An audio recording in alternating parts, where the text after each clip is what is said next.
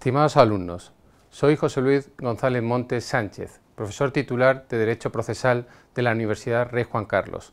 Voy a ser su profesor de Derecho Procesal 1, junto con el profesor Gómez Sánchez, cuya presentación pueden obtenerla de su propio perfil de la asignatura, aunque en este momento les hablo en nombre de los dos a los efectos de la presentación de la misma.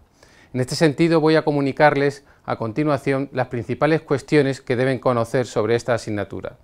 Respecto del temario, trataremos en profundidad en este curso la función jurisdiccional, el proceso como instrumento de la jurisdicción, principios y formas del proceso, el derecho de los justiciables frente a la Administración de Justicia, el Poder Judicial, su función jurisdiccional, su composición y, en definitiva, el proceso como instrumento de la jurisdicción.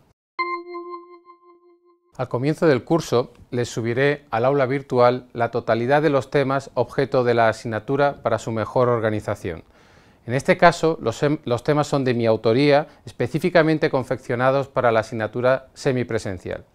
Igualmente, al comienzo del curso, subiré la totalidad de las prácticas que han de realizarse por los alumnos en relación con esta asignatura.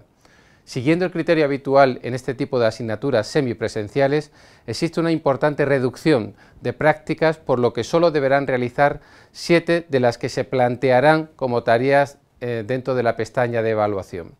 Estableceremos unos plazos de entrega de las prácticas que serán, no obstante, bastante flexibles.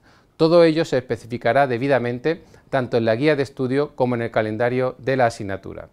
Las distintas prácticas abordarán temas puntuales de la asignatura. En cuanto a la evaluación, las prácticas supondrán un 20% de la calificación, siendo el 80% restante el examen final de la asignatura que será presencial en las fechas fijadas por la universidad. Desarrollaremos una videoclase al mes en la que podremos tratar varios temas de la asignatura que serán previamente especificados.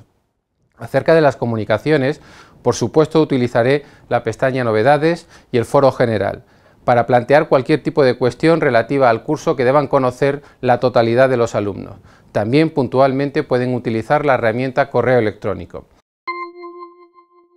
Para las tutorías fijaremos formalmente en la asignatura unos días y horas estipulados para ellas a la semana. No obstante, me basta con que me envíen un correo electrónico para que podamos consensuar específicamente con un alumno concreto una fecha y una hora para tutoría, con independencia de las fijadas inicialmente, ya sea presencial, por videoconferencia o por cualquier otro medio que articulemos.